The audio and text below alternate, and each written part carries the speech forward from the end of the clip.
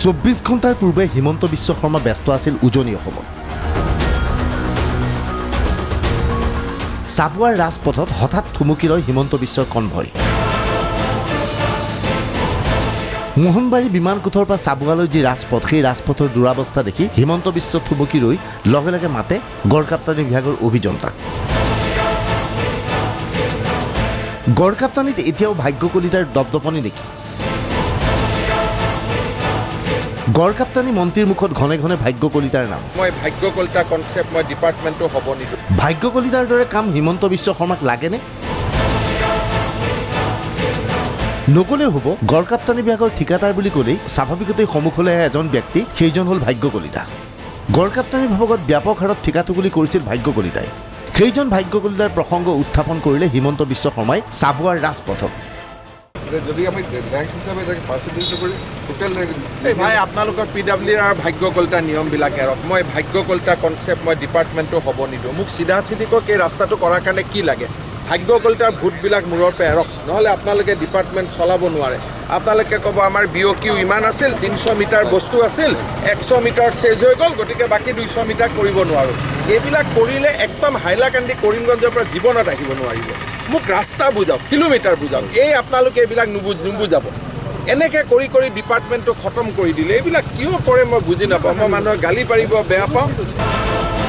হিমন্ত বিশ্বই পৰোক্ষভাৱে ক'ব বিচাৰিছে ভাগ্য কলিতাৰ যুগ এতিয়া গড়কাপ্তানী বিভাগত নাই। ভাগ্য কলিতাই পূৰ্বে যি ধৰণে গড়কাপ্তানী বিভাগত কাম কৰিছিল সেই ধৰণৰ কাম কাজ হিমন্ত বিশ্ব শৰ্মাক নালাগে। মই ভাগ্য কলিতা কনচেপ্ট মই ডিপাৰ্টমেণ্টটো হ'ব নিদিওঁ। এক কথাত ক'বলৈ গ'লে হিমন্ত বিশ্ব শৰ্মাই স্পষ্টভাৱে বুজাইছে এতিয়া ভাগ্য কলিতাৰ গড়কাপ্তানী বিভাগত কোনো প্ৰয়োজন নাই। তৰুণ গগৈৰ মুখতো ভাগ্য কলিতাৰ নাম। কংগ্ৰেছৰ দিনতো ভাগ্য কলিতাই গোলমাল কৰিছিল। কিন্তু এতিয়া গোলমালৰ পৰিমাণ বৃদ্ধি পাইছে। দাবী কৰিলে তৰুণ গগৈয়ে তাত বোলে পুখুৰী হৈছে কালিও দেখিছোঁ হেমন্ত বিশ্ব শৰ্মাই চাবুৱাত গৈছে। ভাগ্য কলিতাই গালি পাৰিছে। ভাগ্য কলিতাইতো আগেও গণ্ডগোল কৰে কিন্তু আমাৰ দিনত ইমান বেছি কৰিব নাছিল এতিয়া কেনেকৈ সাহস পালে? প্ৰশ্ন হয় গড়কাপ্তানী বিভাগত ভাগ্য কলিতাই কাম কৰেনে? এতিয়াও ভাগ্য কলিতা গড়কাপ্তানী বিভাগৰ ঠিকাদাৰ নেকি? গড়কাপ্তানী সূত্ৰৰ মতে যোৱা বিছ বছৰ ধৰি ৰাজ্যত কাম কৰা নাই ভাগ্য কলিতাই। কেন্দ্ৰীয় গড়কাপ্তানীৰ কামহে কৰে ভাগ্য কলিতাই। তেনে অৱস্থাত হঠাৎ ভাগ্য কলিতাৰ প্ৰসংগ কিয়?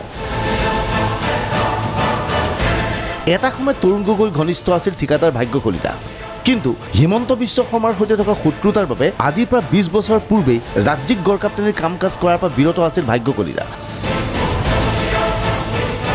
ভাগ্য কলিতা এতিয়াও গড়কাপ্তানী বিভাগৰ ঠিকাদাৰ কিন্তু ৰাজ্যৰ নহয় কেন্দ্ৰীয় গড়কাপ্তানীৰ কাম কৰে ভাগ্য কলিতাই দাবী কৰিছে ভাগ্য কলিতাৰ ঘনিষ্ঠ সূত্ৰই। Bureau report DY three six five.